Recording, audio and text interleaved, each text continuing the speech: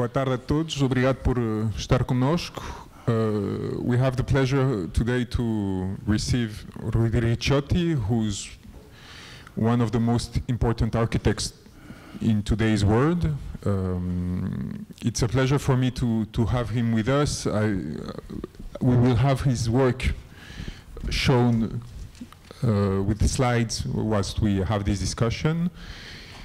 Rui Ricciotti is not only an important architect because he has created some of the most um, impressive buildings of the last decades, including the Museum of the Mediterranean in, in Marseille, but also because he has a voice that has been heard through several means, including the publication of numerous books, in which he tries to conceive a new way of approaching architecture, which discusses fundamental issues as the notion of beauty, uh, the relationship between concepts and material, and this appears as this made it natural for us to invite him and to try to discuss of the interconnections between different arts and how these arts nourish the work of people like him and in particular in architecture. So maybe my first question and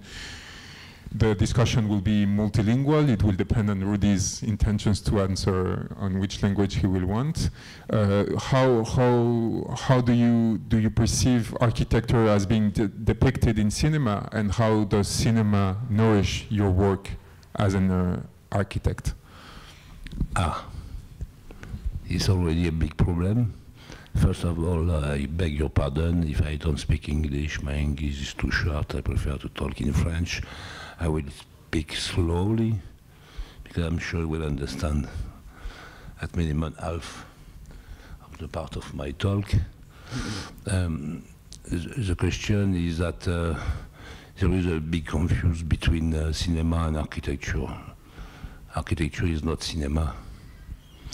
What, what the cinema and architecture has, um, have in common is perhaps it's uh, the political targets through the principle of creation. But we don't have the same political targets. First of all, um, as architects, we have to refuse the exile of beauty.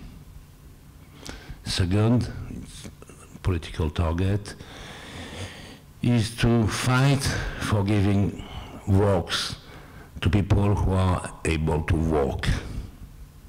I mean to preserve memory, uh, knowledge, connaissance, mm -hmm. and uh, capacity of doing. Because um, uh, architecture is under, has under his shoulder the weight of the last pornography reality, which is first of all minimalism. Second, pornography is uh,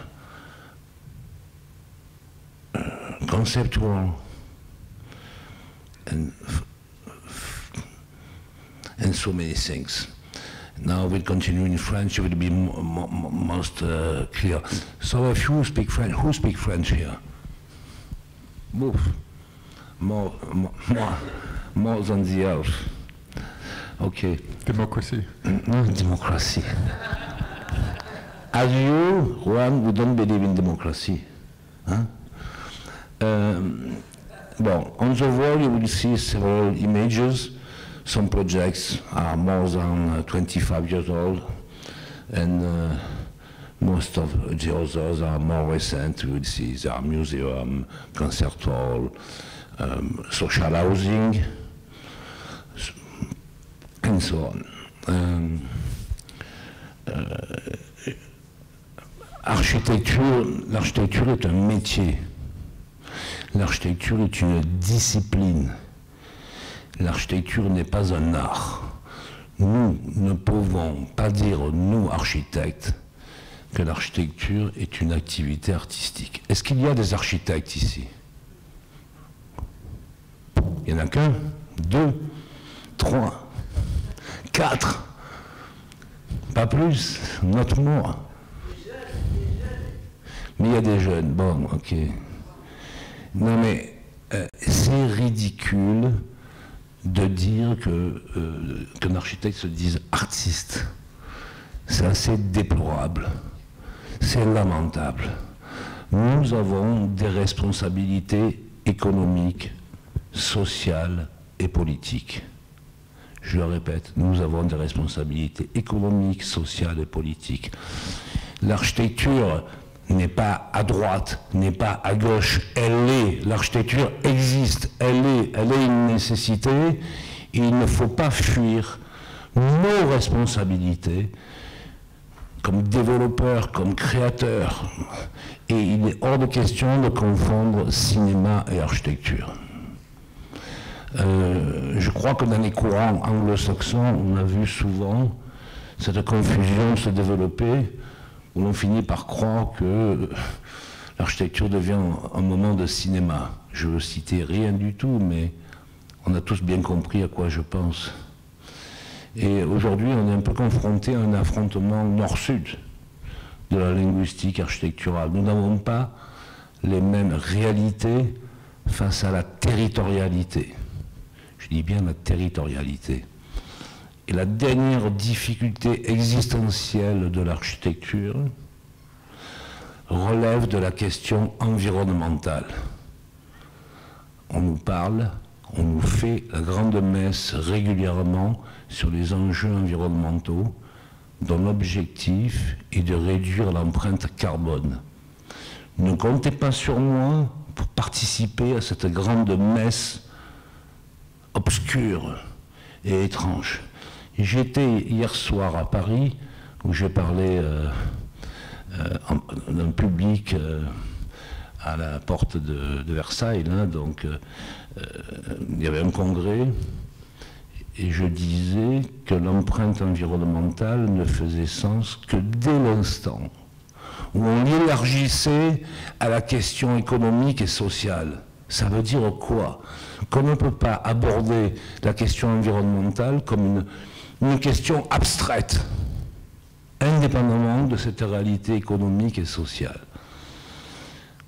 Qu'on ne peut pas l'aborder aussi par rapport à la question du temps, la durabilité.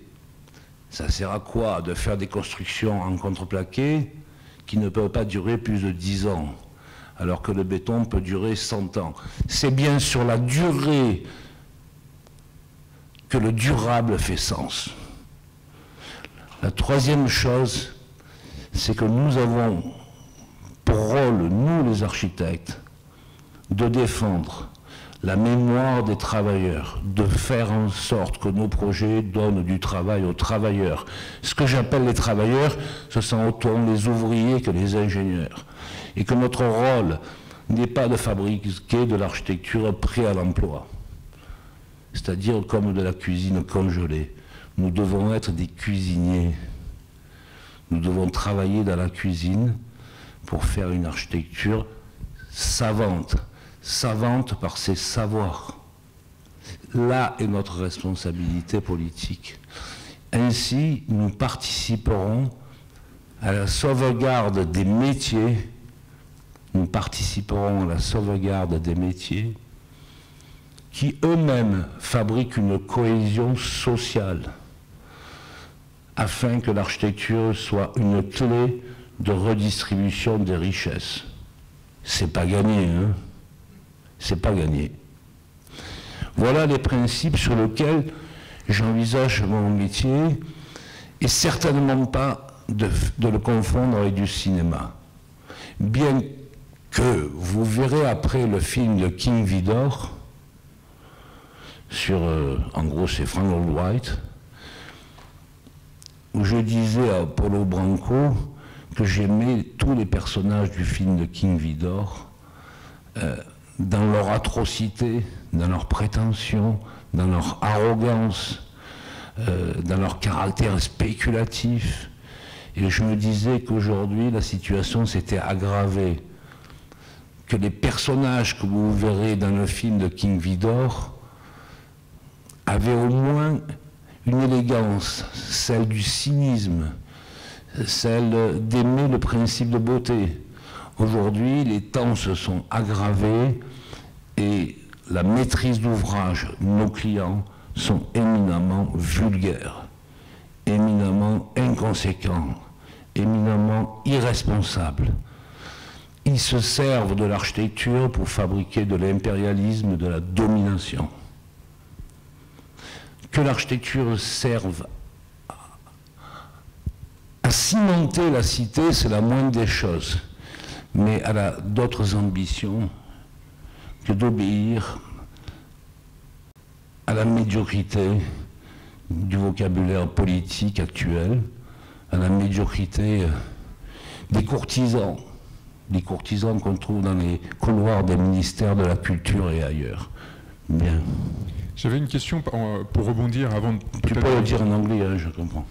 revenir sur la médiocrité. Un moment. Tu can tell it in English. Hein, euh, en portugais, sinon. En portugais, não. Uh, falou da pornografia do minimalismo Ai. e uh, do conceptualismo e uh, pode, pode explicar-nos porquê é pornográfico e em, porquê considera que esses movimentos são pornográficos? On va faire simple. Un immeuble au Portugal ou en France, au 19e siècle, pour décrire une façade du sol jusqu'au ciel, jusqu'à la toiture, il fallait 100 mots pour décrire les ouvrages de la façade. S'il y avait 100 mots, c'est-à-dire qu'il y avait 100 ouvrages, 100 métiers, 100, 100 métiers différents. Nous les avons perdus. Nous les avons perdus. Nous avons perdu ces mémoires, nous avons perdu ces savoirs, nous avons perdu les métiers. À qui la faute? Dire que c'est la faute du libéralisme, du capitalisme, je ne suis pas d'accord, je ne marche pas dans la combine. C'est la faute de la doctrine des architectes. Le mouvement moderne nous a fait le cul, le mouvement moderne nous a sodomisé intellectuellement, c'est-à-dire renoncer aux complexités qui avaient l'avantage de nous faciliter le travail. Nous sommes globalement responsables. Aujourd'hui, l'héroïsme d'un architecte, c'est de faire la jonction à la perpendiculaire d'un mur blanc avec un sol gris. Je ne vois pas où est la performance.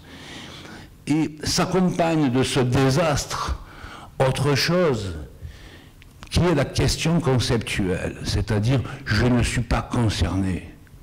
Je suis à distance de la réalité. Je suis à distance de l'ensemble des propos du réel. Ça veut dire je me barre. Ça veut dire je suis responsable de rien. Le mouvement moderne a fabriqué deux égarements. Le premier, c'est l'effacement du récit architectural et le deuxième, une doctrine, c'est-à-dire la lâcheté qui l'accompagne pour être satisfait de ce qu'on en a fait. Une question qui, euh, revient dans votre euh, parcours, c'est la question de la violence, voire de la brutalité. C'est-à-dire, face à l'enlaidissement du monde, quelle est la réaction que l'on peut avoir au-delà du réflexe de vouloir détruire ce qui est laid pour le reconstruire? Ou est-ce qu'il faut en passer par là? Alors c'est une bonne question. Faut-il détruire la laideur? Mais oui. Sauf que, où démarre la laideur? That's the question. When will you start uh, laideur Ugliness. Et en, en, portugais euh, La laideur. I feel bad. First of all, I believe that uh, everything which was built until the Second World War uh, must be conserved. conserved. Preserved. Preserved. But most of the part which, of what we, uh, was built after the Second World mérite d'être détruit. It's very interesting.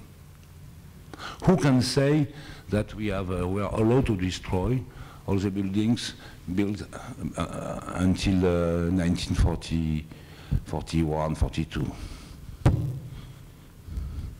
but after make the defense of what will be, uh, what was built after uh, 45.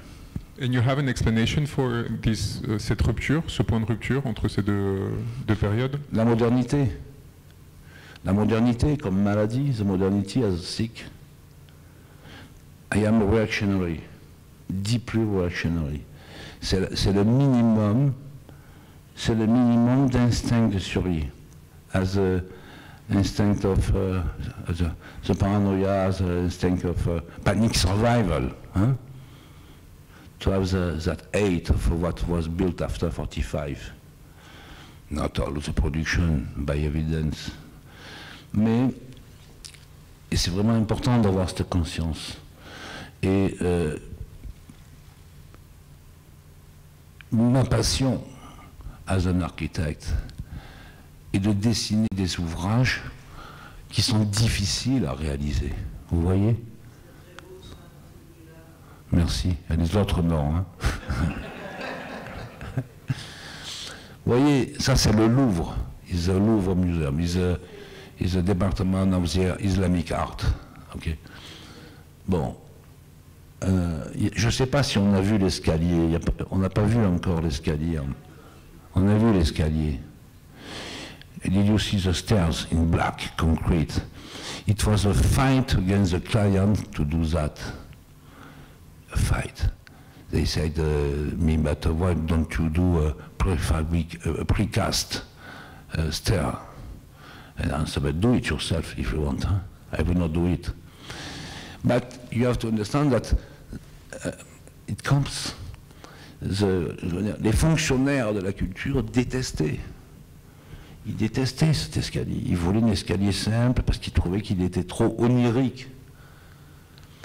La vraie bataille, le vrai combat de demain, the real fight from tomorrow, of tomorrow, is to fight for oniric answers as an act of resistance. Oui, parce que vous, nous, avez parlé là de la laideur de avant, euh, avant, avant, après la Seconde Guerre mondiale, pardon, mais on a un, deuxième problème aujourd'hui architectural, j'ai l'impression, c'est tout ce travail de dévitalisation des villes anciennes, c'est-à-dire des, des, les centres-villes comme Lisbonne ou comme Paris restent dans leur jus d'époque, en quelque sorte, on investit énormément d'argent pour rénover tous ces anciens bâtiments, mais en fait, ce qu'on fait, c'est d'une part, c'est enlaidir leur intérieur, et d'autre part, évincer les personnes qui rendaient vivants et qui s'étaient accouplées à cette architecture pour le transformer en, gare à tourisme. C'est quelque chose qu'on voit beaucoup, par exemple, avec les halles. Euh, pour donner un exemple rapidement, il y a une halle ici à, Lisbonne qui a été transformée en une sorte de time-out avec des, centaines de, petits bars gastronomiques à la chaîne, là où c'était évidemment avant un marché. Et c'est un projet qu'on peut retrouver dans plusieurs villes européennes. C'est-à-dire qu'on retrouve exactement la même chose, on garde seulement la structure et, on le remplace par une sorte de, d'embourgeoisement commercial qui vide complètement de sa substance. Et ce désaccouplement entre la structure et ce qu'elle accueille quelle réponse on peut y apporter en général et peut-être en tant, qu'architecte, à part résister et, refuser d'y participer? The worst I saw is in uh, Barcelona, where the Plaza de Toro uh, where, uh, was transformed in a supermarket with a roof in stainless steel. It's like a, une victoire we met because I, I, um, I mean, I, uh, I wrote a book in which I, during the confinement, I, I, I, am a lawyer and I was authorized to walk, because I'm a lawyer, we, we had freedom of, of, uh, of movement, to walk into Paris whilst Paris was completely emptied. And I took the opportunity to try to think of how we should transform Paris in case there was a revolution and this current system was destroyed. And I, and I started a reconfiguration of the of the places and how the city should be organized. And I, I, I sent it, I published the book and I sent it to, to Mr. Ricciotti to, to ask him what he thought about it and how he would see these changes and materialize these changes from an architectural perspective. If you had a free card to do, a wild card to do whatever you wanted in Paris, what would you do? and we decided to stop to build in Paris. Paris, the city of Paris, is the biggest pirate in Europe because they, they use half of the budget of the French government, where uh, only 12%, per, uh, 12 of the inhabitants in France live. Yeah, when you understand that, you have understood everything. Donc on cesse d'investir dans, dans, la capitale. Ouais, exactly. We have to give the, on doit donner le paradis fiscal à Paris et faire en sorte que Paris se sépare de la France. We have to give independence to Paris. Really. It's the last chance we have in France. And also to be a big fiscal paradise. Vraiment. Et après, enfin, nous serons heureux. Voilà. Parce que. Euh, mais j'ai pas envie de parler de Paris euh, parce que parce que euh, tout à l'heure je parlais euh, Will est là, notre grand créateur qui me disait qu'il vit à Paris. Il est où? Il est par là. Non, bon. Lequel? Elia Suleiman? Yes. He's hiding there. Il est là-bas. Il m'a dit qu'il n'en pouvait plus de Paris. Qu'est-ce qui se passe cette ville qui a concentré tous les pouvoirs et qui est incapable de faire ça Tu vois Ça, c'est un dojo pour des enfants. C'est infaisable. Tu vois tout est, tout est forbidden. Everything is forbidden. The culture of the, euh, comment s'appelle The cancel culture killed the spirit of Paris il y a Sokourov, qui était ici, un réalisateur russe qui était ici avec nous euh, jusqu'à jusqu'à avant-hier, qui a présenté son film, a fait un film sur le Louvre et euh, qui faisait la leçon en français. He was lecturing the French en, disant euh, nous, les Russes, nous sommes morts pour que Paris ne soit pas détruit. Vous nous donnez des leçons aujourd'hui de pacifisme, de, des droits de l'homme, etc. Mais les millions de Russes qui sont morts pour empêcher la destruction de Paris, euh, ceux-là, vous ne les reconnaissez pas et vous ne vous rendez pas compte que pour préserver la beauté, il faut un rapport au sacrifice. Est-ce que c'est quelque chose avec lequel vous êtes d'accord d'une part? Et d'autre part, est-ce qu'il n'y a pas une contradiction à penser qu'il faut préserver les choses, euh, qu'il faut en gros détruire que ce qui est post-45 et en même temps se plaindre du fait qu'on ne puisse pas toucher euh, à ces choses-là, à des villes comme, comme Paris, ou qu'il ne faudrait pas y toucher? Non, mais la question sur le sacrifice euh, face à la beauté, c'est une question à la fois existentielle, à la fois esthétique et à la fois philosophique. nous sommes tous concernés à un moment donné par la question du sacrifice euh, que nous devons faire face au principe de beauté, surtout les architectes, puisqu'il y a des architectes ici, ils savent combien ce métier est difficile et combien l'adversité, les adversités, par exemple pour faire quelque chose comme ça, il y a un travail de coffrage, il y a un travail très solennel euh, de recherche sur le béton pour arriver à cette sensualité, pour arriver à ce principe de beauté. Il faut lutter contre la laideur. Mais la laideur, elle n'est pas formelle, elle est, elle est paranormale, elle est dans les mécanismes de production, elle est dans les mécanismes de commande, elle est dans les mécanismes de décision, elle est diffuse. Nous sommes tous collectivement responsables face au principe de laideur. Nous sommes collectivement Ne crois pas, bon, ce que je fais n'est pas extraordinaire, mais je fais mon métier. I try to do my job. I don't do what I want, I do what I can, or what I may. And when you understand that, you understand what is the job of the architect. Et euh, sur les principes que tu évoques, vous évoquez, le, euh, mourir pour la beauté, euh, euh, moi je suis pas prêt. Je ne suis pas prêt. J'ai pas envie de me faire avoir. Parce que l'évaluation de la beauté, tu vois, il y a des projets comme ça. Si tu demandes aux gens ici qu'est-ce qu'ils en pensent, il y en a qui doivent trouver ça très laid, d'autres qui doivent trouver ça très beau.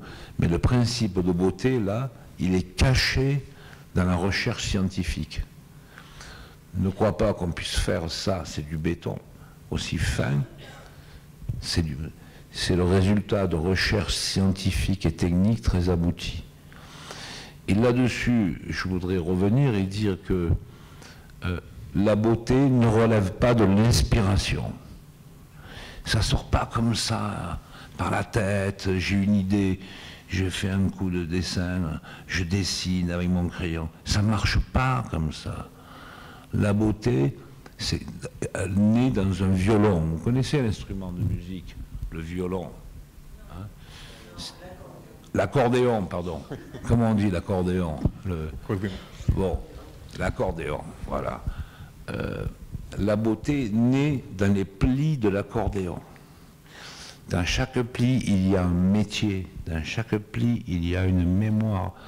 Dans chaque pli, il y a une anxiété. Dans chaque pli, il y a une difficulté existentielle.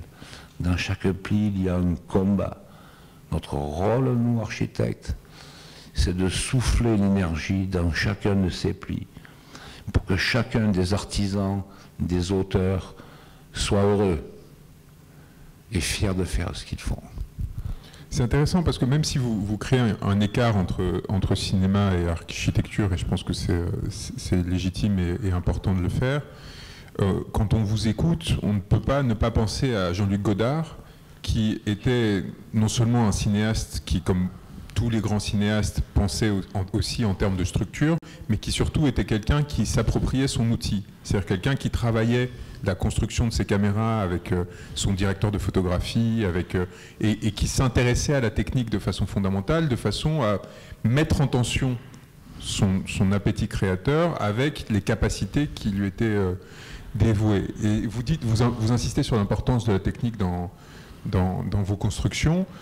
Est-ce que vous avez un rapport, est-ce que vous êtes à la fois créateur et technicien, ou est-ce que vous appuyez sur des techniciens que vous connaissez depuis longtemps, qui vous accompagnent, ainsi de suite? Est-ce que vous êtes capable de comprendre tout ce que les ingénieurs qui travaillent avec vous élaborent? Est-ce qu'il y a une distance entre vous et eux du fait d'une maîtrise technique qu'ils auraient supplémentaire par rapport à vous?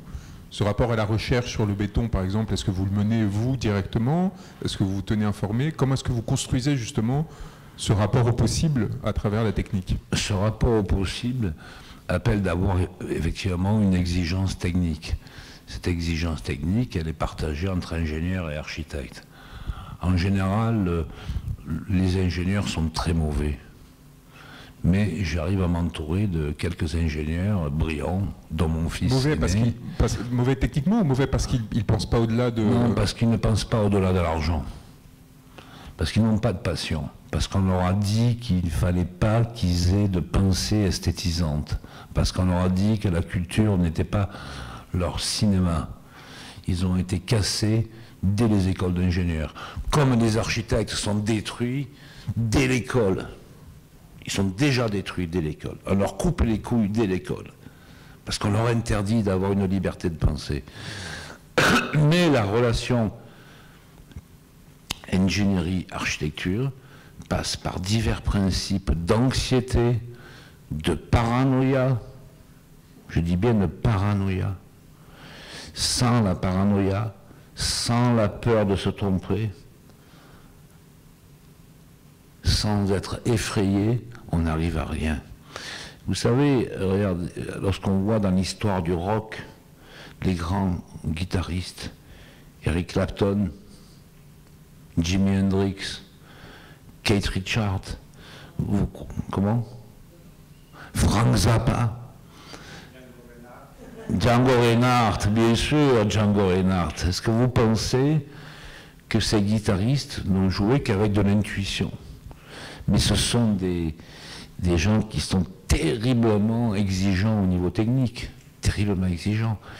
Et euh, il n'y a pas, il n'y a pas d'apprentissage de la création sans apprentissage de la difficulté des sciences.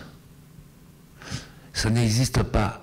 La gratuité du bénéfice esthétique n'existe pas sans vider du sang sur un terrain de bataille terrible, sur une guerre fondamentale qui est celle contre l'adversité de la matière. L'adversité de la matière. Vous travaillez contre, contre le centre, à la fois, enfin, votre propos sur Paris euh, euh, le, démontre. Ça vous permet de, de de ne pas devenir courtisan, de ne pas être soumis à, des appareils de pouvoir. vous êtes construit, y compris dans votre vie, à distance de ces appareils-là. Et pourtant, beaucoup des œuvres que vous avez construites, que vous avez pardon, créées, exigent une concentration de ressources très importante. Et cette beauté que vous, euh, que vous finissez par faire émerger, je pense au Mucem, je pense au Stade Jambouin et ainsi de suite, euh, ils, ont, ils, requièrent en fait, à un moment donné, cette concentration de ressources qui doit être organisée par un appareil de pouvoir pour, euh, pour, pour pouvoir exister. Donc là, j'ai deux questions. La première, c'est peut-être une question plus philosophique et abstraite. Quel est votre rapport au centre, y compris dans votre œuvre? Est-ce que, est que dans, vos, dans, vos, jeux de géométrie, de symétrie, ainsi de suite Est-ce que la centralité est quelque chose que vous essayez de fuir ou au contraire que vous mettez au cœur de votre réflexion? Et d'autre part, est-ce que vous considérez que c'est une ambivalence, ce rapport à la concentration ou, quelque chose avec lequel il faut jouer? Quand on vous dit centralité, c'est une manière pudique de parler du pouvoir, je pense. Je crois que tout architecte qui veut survivre, doit travailler de manière clandestine et ne jamais exposer au pouvoir les finalités de sa vision d'architecte. Dès l'instant où l'on fait de la pédagogie, on est mort. Dès l'instant où l'on donne au pouvoir qui nous fait une commande les clés de compréhension du projet, il nous étouffe. Il veut prendre le pouvoir. Et c'est une maladie il y a une espèce de, principe de domination permanent dans l'acte d'architecture par l'ensemble des partenaires qui tournent autour de ce métier. Évidemment, évidemment. Donc, moi, la centralité, je lui tourne le dos. D'ailleurs, moins je vais à Paris, mieux je me porte. Mais ça ne m'empêche pas de travailler de gagner de très gros projets à Paris. je vais faire le musée du Grand Siècle, j'ai fait Chanel, euh, j'ai fait le Stade Jean j'ai fait l'agrandissement du musée du Louvre. Mais j'y suis arrivé parce que j'avais de la distance. De la distance. Et donc vous pensez qu'ils ne vous comprennent pas? Enfin, vous créez cette, euh, cette, opacité à leur égard Est-ce qu'ils arrivent à la percer? Comment est-ce que vous vous sentez en rapport avec, euh, vos commanditaires? J'ai un rapport de méfiance extrême. Euh, il faut ruser. Ne croyez pas qu'un pont comme ça sort par le Saint-Esprit. On est toujours à la limite de la légalité administrative, à la limite de la faisabilité scientifique, à la limite de la légalité des normes. Et pour flirter avec la limite de la légalité des normes, il faut être un peu pirate. C'est terrible. Parce que dès l'instant où j'ai développé un partenariat, entre guillemets, démocratique, de dialogue participatif, chaque fois, c'est le, début des emmerdements et des difficultés.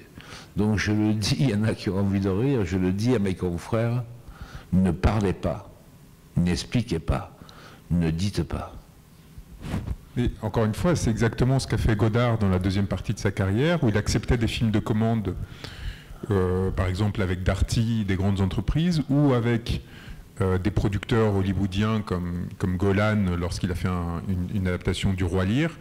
Et il rendait des, œuvres si opaques qu'il laissait complètement désemparer ses commanditaires initiaux qui pensaient voir quelque chose euh, à la nouvelle vague, très, très explicitement esthétique et se retrouver en fait face à un mur qu'il n'arrivait pas, pas à saisir. Est-ce que c'est une tentation euh, que vous avez quelque part de, fermer non seulement vous en tant qu'explicateur de l'œuvre, mais l'œuvre elle-même et d'essayer de la rendre opaque au premier abord? Je, je, ce projet, par exemple, si j'essaie de l'expliquer au client qui est un promoteur, un développeur, avec des dents qui rayent le parquet comme ça, il a qu'un objectif, c'est de me sucer le sang. Tout ce qu'il veut entendre, c'est pas cher. C'est pas cher. Donc il me dit, qu'est-ce que tu fais? Je fais un truc pas cher. J'ai fait un truc pas compliqué. Attention, hein, parce que sinon il te tire les oreilles, tu vois. Ça, c'est du, du HLM pour étudiants, tu vois. Tu crois que j'ai expliqué HLM sans... sans euh, Social housing. It's a social housing for students. I didn't explain why I, I have so many different windows with light. Because if I explain, I am dead. I have to give, I have to give, uh, ah, ça, ah, ça c'est une arena, a corrida, for corrida.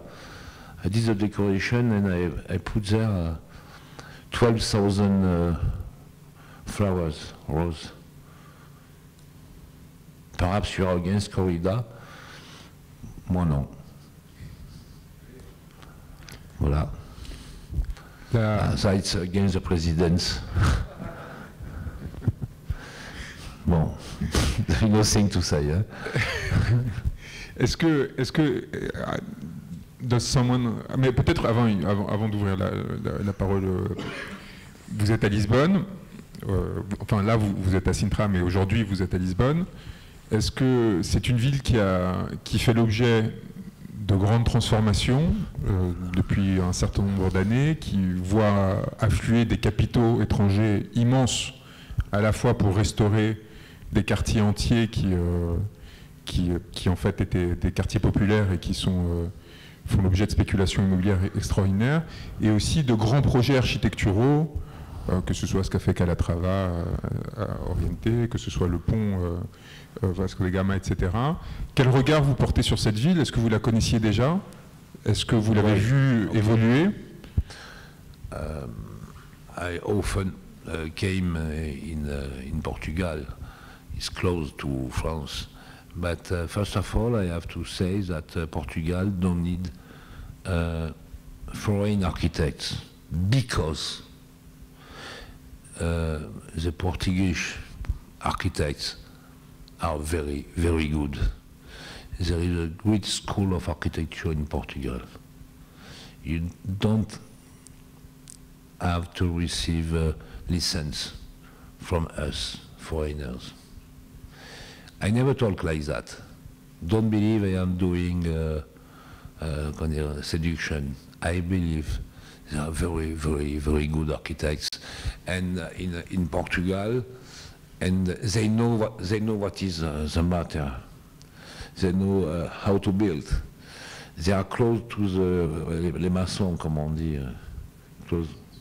Hein? Masons. They are close to the masons. They never forgot what is uh, the hand, the hand used for. They have that memory because I think that a Portuguese architect is very close to the people, the people who ha- has a memory of construction. Uh, to do that in France, it's a concert rock, uh, concert uh, hall uh, for rock music, experimental music.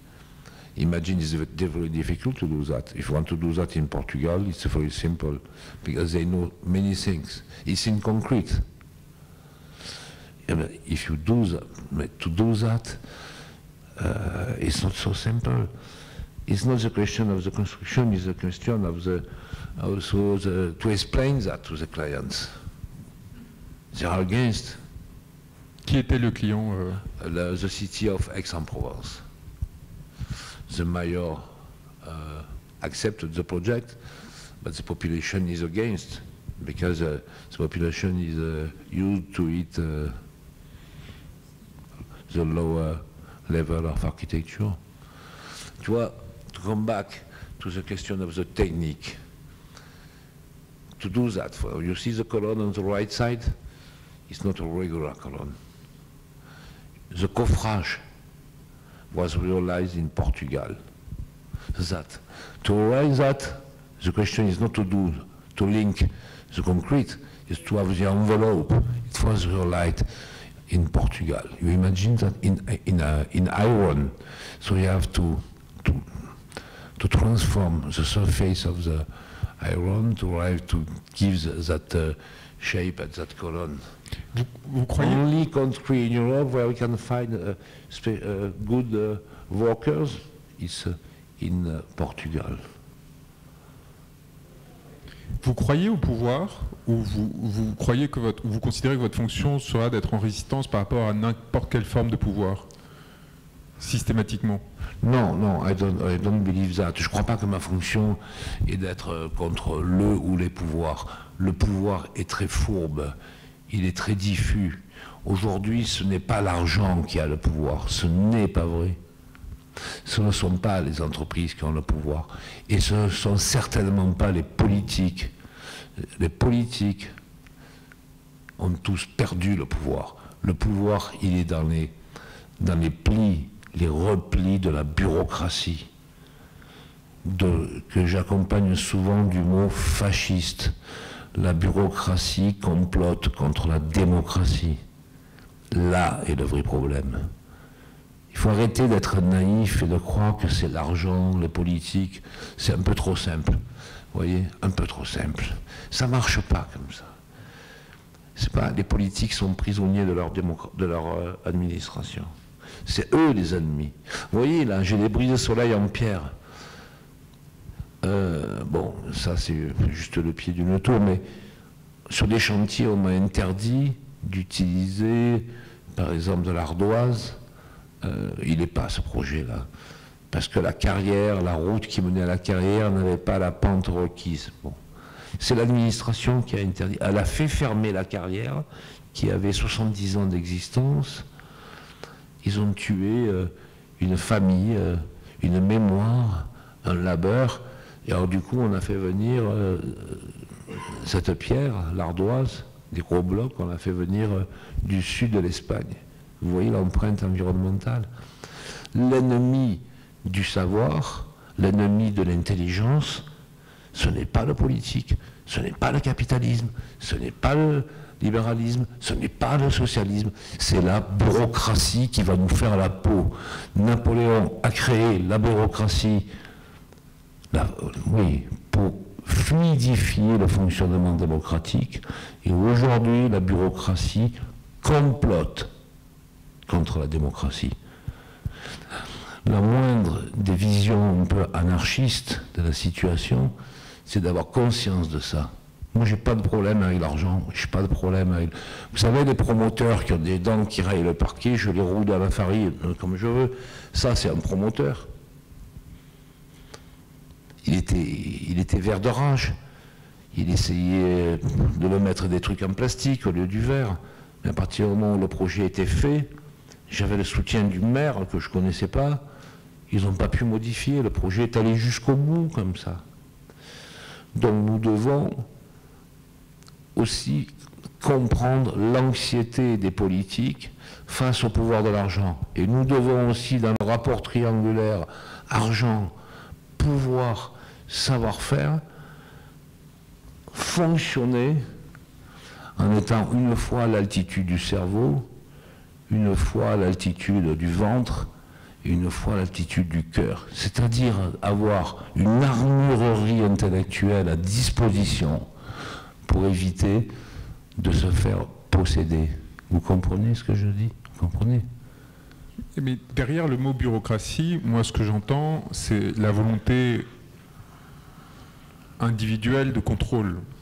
C'est-à-dire que la bureaucratie, c'est un composite d'individus qui chacun, dans leur petite sphère, va vouloir avoir son mot à dire et va vouloir fabriquer du pouvoir. Voilà. Et du coup, leur façon de fabriquer du pouvoir, c'est de ralentir, c'est de bloquer. C'est un, pouvoir en négatif, parce que la bureaucratie ne peut pas créer, sinon elle ne serait pas bureaucratie, elle serait, elle serait autre chose. Et donc, la question qui se pose, c'est est-ce que c'est la responsabilité de la société ou des... Enfin, d'où vient ce que d'un coup, il y ait cette couche supplémentaire dans le réel qui est fini par euh, l'obstruer et peu à peu le ralentir? Comment est-ce qu'on explique que les gens trouvent leur jouissance aujourd'hui en, euh, fabriquant de la nuisance pour renouveler son territoire existentiel. Tu peux le dire en portugais? Et en anglais. Fabriquer de la nuisance, pas nous, mais la bureaucratie fabrique de la nuisance pour renouveler son territoire existentiel. Dis-le en portugais. Après. A, a burocracia fabrique, détruit para. C'est quoi la deuxième partie? Renouveler? De la nuisance pour renouveler son territoire existentiel. Para renovar o seu território existencial. Et en anglais? Bureaucracy fabricates, uh, destroys, we can say, uh, bureaucracy destroys to renew its existential territory. Mm. Merci. Aujourd'hui, la violence, qui est quand même la spécialité esthétique de David Cronenberg, le propos sur la violence. Euh, la violence, on ne sait pas où elle est née. On ne sait pas. La violence, elle est souvent secrète, elle est souvent non dite, elle est ailleurs, elle n'est pas là où on croit la, situer. Euh, qu'est-ce qui s'est passé pour que la bureaucratie complote contre la démocratie? C'est qu'elle s'est sentie dépassée par l'évolution du monde, dépassée par euh, le pouvoir de l'argent aussi, il faut dire la vérité, hein, ils ne sont pas toujours bien traités, et euh, elle a compris qu'en étant solidaire et en formant un corps, euh, un corps de lutte, elle pouvait tenter de reprendre un peu de pouvoir. Moi, je rajouterais une chose. Moi, je rajouterais l'importance de la mondialisation qui fait qu'il y a une angoisse au sein de beaucoup de populations sur la perte de contrôle. Et du coup, les gens qui, au sein de ces populations, participent à la bureaucratie, essayent de reprendre le contrôle en entravant le mouvement du monde. Je pense que c'est aussi un facteur, parmi d'autres évidemment, mais qui explique que peu à peu, il y a cet alourdissement des sociétés comme, comme s'il y avait une réaction de ralentissement du monde pour essayer d'éviter qu'ils partent, euh, dans, partent justement dans, dans, des, dans, des, délires de laideur, de construction massive, euh, de destruction de villages remplacés par des, euh, des ensembles de HLM et, et ainsi de suite. Alors d'abord, lorsqu'on parle de bureaucratie, il convient d'être assez clair et de ne pas rendre toutes les administrations coupables je dois dire d'abord qu'ils ne sont pas tous concernés. Je ne parle que des administrations qui ne produisent rien. Ça existe. Il y a des administrations dont le travail est d'administrer du néant. Mais évidemment, j'écarte de cette culpabilité les enseignants, le personnel médical, le personnel euh, des armées, euh, le personnel de la police, qui sont des gens au service de notre population et qui sont tous les fils du peuple, comme disait Pier Paolo Pazzolini. C'est pas de eux, je le dis parce que, que ce soit clair. Hein. Quand je dis bureaucratie, ce sont les interstices du pouvoir, tous les cloportes qui sont dans les couloirs des ministères à Paris pour fabriquer de l'adversité sur le dos des autres. Je pense surtout à ça ou dans des administrations décentralisées. Mais bon, on ne va pas faire tout le, sujet là-dessus parce qu'on a compris. Hein. Tiens, ça c'est Sao Paulo. C'est une, distraction. On a moulé dans la forêt vierge des lianes et on les reproduit en béton. Vous avez jamais été intéressé par euh, participer au travail de représentation en, dessinant pour, euh, ou en créant pour euh, alors il y a deux questions. la première, c'est en créant pour le cinéma, pour, euh, en créant des décors, en créant des choses qui ne soient pas des bâtiments, premièrement. Et quelle est la différence justement d'œuvre entre créer des bâtiments et créer des décors? Et, la seconde, est-ce que vous avez un rapport à la représentation nécessairement? Parce que quand vous, vous créez un bâtiment, vous pensez à la façon dont il va être perçu. Bon, moi, je n'ai pas d'expérience de décor dans le cinéma ni dans le théâtre, mais j'ai énormément d'admiration pour Jacques Tati, lorsqu'il fait Playtime, lorsqu'il fait, euh, dans tous les projets de Jacques Tati, l'architecture est très présente, et elle est présente avec beaucoup de distinction.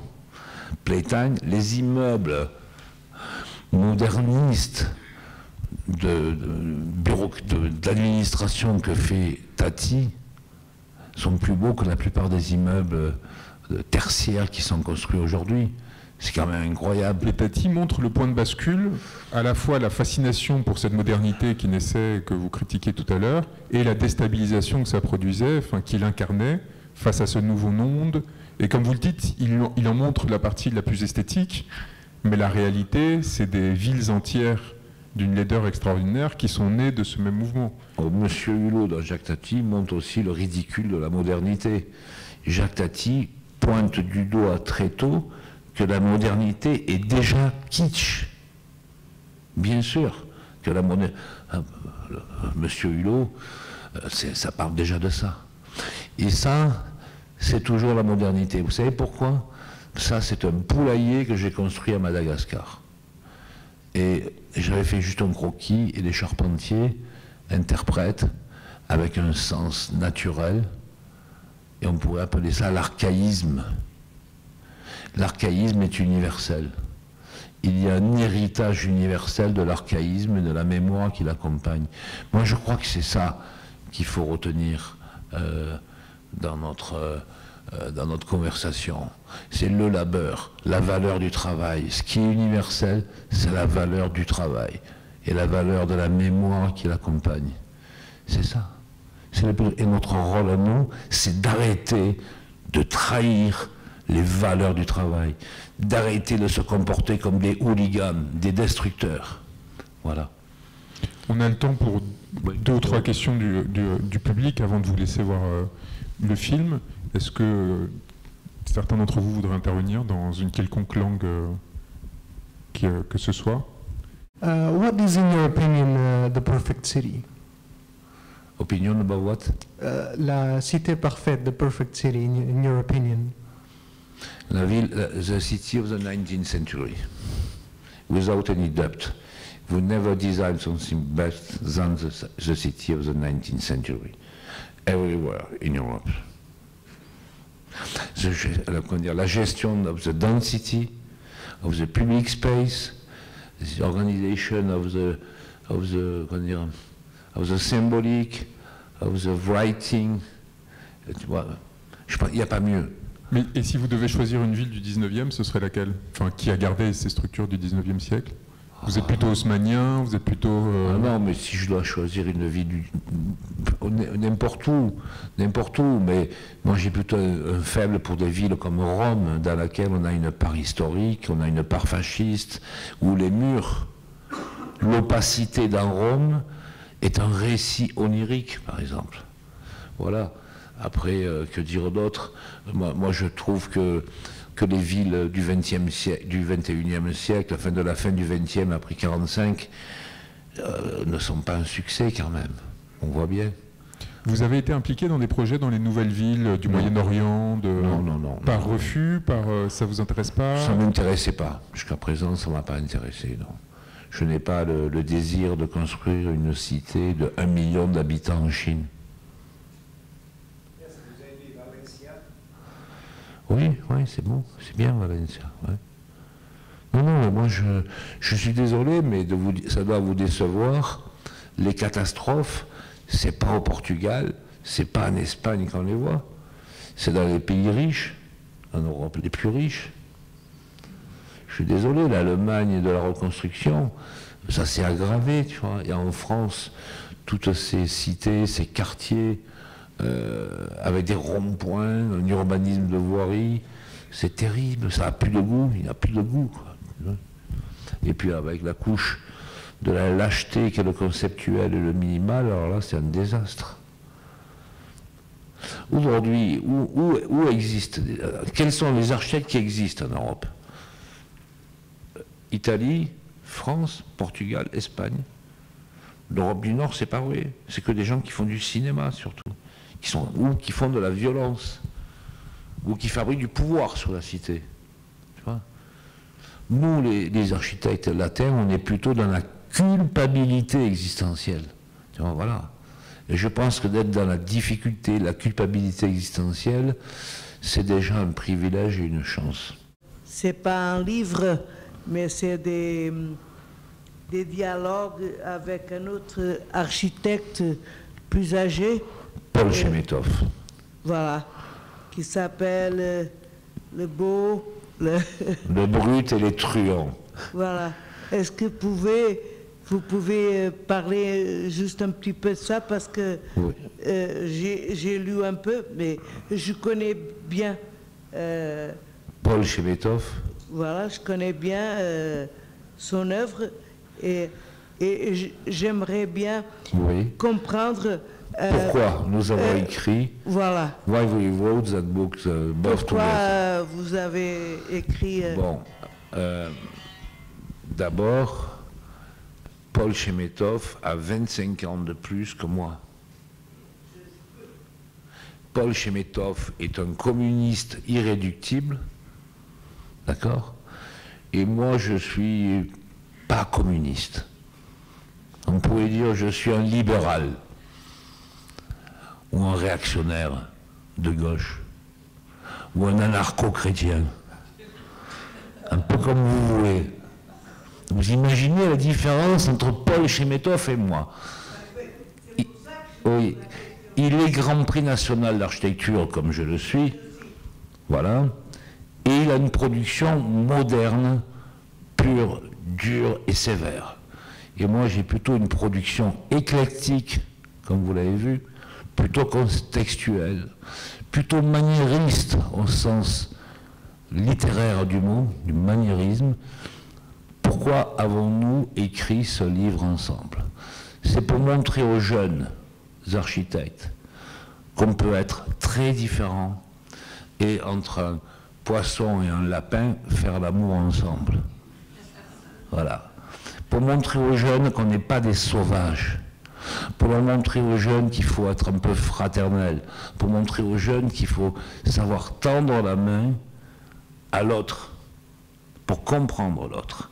Et d'ailleurs, il y a une photo dans le livre où Paul Chemetov est assis à côté de moi et j'ai ma main sur sa main. Cette photo extrêmement tendre et très émouvante, vous l'avez vu dans le livre. Ali, cette photo. Hein donc c'est aussi euh, pour montrer aux jeunes qu'il faut faire des efforts pour ne pas devenir autiste. Voilà. Merci beaucoup, euh, d'avoir été parmi nous et de nous avoir donné cette présentation euh, qui était extrêmement importante. Peut-être une toute petite dernière question. Est-ce que, à part ce film, il y aurait un autre que vous nous conseilleriez sur la représentation d'architecture ou dans le rapport à l'architecture qui vous ait marqué ou ou qui a eu un rôle euh, au cours de votre oh là là, tu me prends deux cours comme ça, mais je ne sais pas à quoi je pourrais penser. Il euh, euh, y a eu des films qui ont été faits dans l'architecture de Ricardo Bofill à Paris, qui étaient pas mal, qui étaient portés par une espèce de magma de, d'architecture en situation qui pouvait aider le cinéaste à, à révéler la violence, le surréalisme, la folie, la tendresse, la beauté. Je ne me rappelle plus le nom de ce film. On le retrouvera. Merci. Merci beaucoup.